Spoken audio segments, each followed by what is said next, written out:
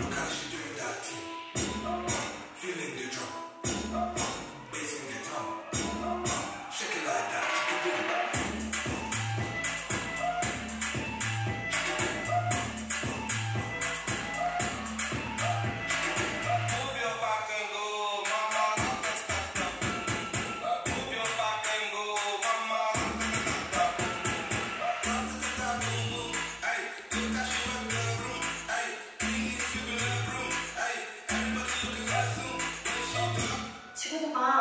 네가 경찰서 가서 그 지랄까지 떨었는데 넌 또 여기 와 있고.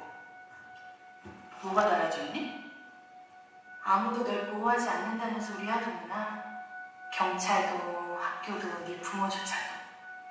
그걸 다섯 글자라면 뭐다? 사회적 약자.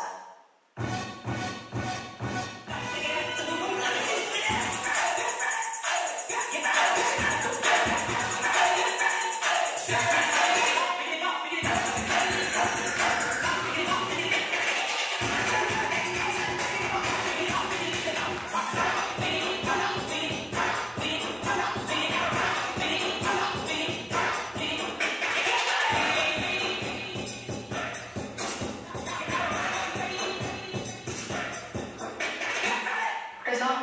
넌 꿈이 뭔데?